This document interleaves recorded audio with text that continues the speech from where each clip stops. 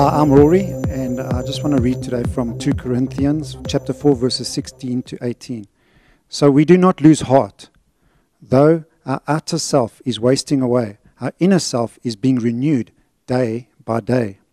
For this light, momentary affliction is preparing us for eternal weight of glory beyond all comparison, as we look not to the things that are seen, but to the things that are unseen. For the things that are seen are transient, but the things that are unseen are eternal. On the 17th of August 2021 at 10:25 a.m., God parted the curtains between earth and heaven and called Ursula Elaine Enslin home at the tender age of 48. It was 6 days before her 49th birthday. In the natural, this does not make sense. We are talking about someone who had a global impact on the world, if not through her students who have gone around the world to her funeral that was literally watched around the globe. She has so much still to give and to make the world a better place, and now she has gone to the unseen. It is so easy in a case like this to lose heart, as it says in that verse. It is different when the person is 100 years old and they lived a good life. But to be gone in the prime of your life, helping to shape biology and teaching in this country, influencing pupils so much that they actually change their careers and go into the biological field. So, how can Paul say, don't lose heart? But he goes on to talk about how that we are wasting away. I saw that with Urshi. She had lost a lot of weight. In fact, some nurses had to look twice when I showed them some photographs of us from years ago. Her face was the same, but it was different from all the weight loss. But then he goes on to say that our inner self is renewed. I saw this with Ursula and I.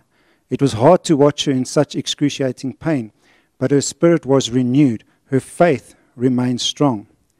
In verse 17, it speaks of a momentary affliction. Even here, it was momentary. Urshi is now in the presence of our Almighty Lord, God and Savior. That pain is gone. In that month in ICU and G ward, I can honestly say that there was not a part of her body that was at some point was not in excruciating pain. It is hard to watch your other half, as it says in Genesis, because we are one, in such pain and wasting away to the point that they literally have like no calf muscles actually left. But then, when we are about to give up with that passage of the verse, we are hit with verse 18. And verse 18 says, As we look not to the things that are seen, but to the things that are unseen. For the things that are seen are transient, but the things that are unseen are eternal. That does not take away from the hurting that I am experiencing now. I wake up every morning between 3:30 and 4 a.m. and look at her empty pillow. Being alone in, in our room at night and wanting to discuss something and the only ones there to hear me is our dogs. I don't have the answers on why this happened to us. I know that I have peace about it. I accept it. I have no anger towards God or to my fellow man. I sit here writing this message and weeping. But through it all, we look to the things that are unseen. God is in control. All praise be to Him. I will praise Him in my pain. When it is so hard, I will praise Him. I will keep my focus on the goal to raise our children and to complete her missions that she started where I can, to help build the church, to ensure that we all get to see Urshi once again as she is waiting for us. I know that on 17th of August, when Ursula was welcomed home to heaven, she heard those faithful words, Well done, my good and faithful servant. She has left a legacy, and I intend to live up to it. And also, then hear those words when she welcomes me home.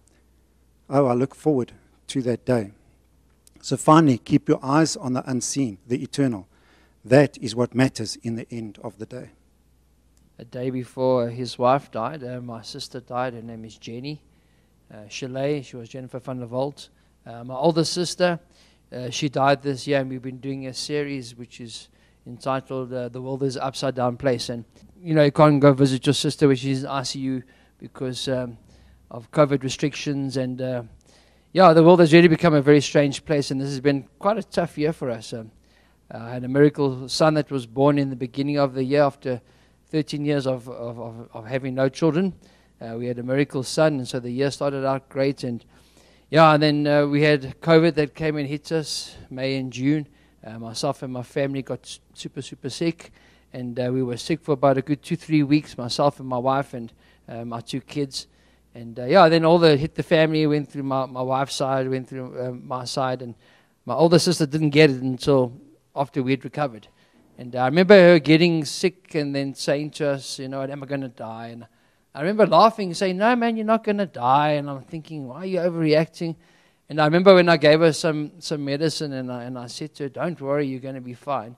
Um, only to realize that uh, yeah, that wouldn't be the plan and that um, I wouldn't see her again after, after a month being in ICU.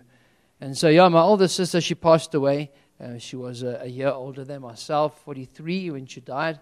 Uh, she left a, a, daughter of 21, a fiance, which never got to marry her, and then obviously us as the family.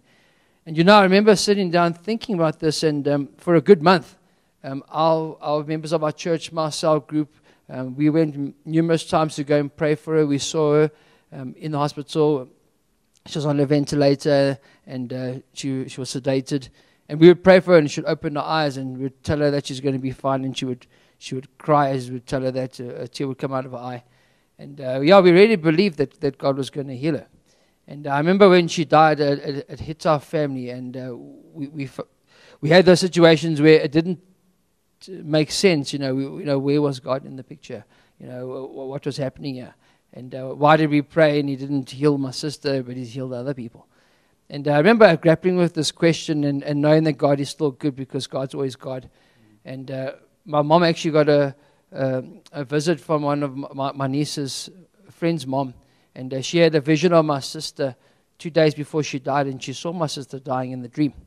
And in the dream, a lady came over to her and said, Look, we mustn't cry anymore, and you mustn't weep for her, because my sister is actually in heaven, and she doesn't want to come back. She's in a better place, she's waiting for us.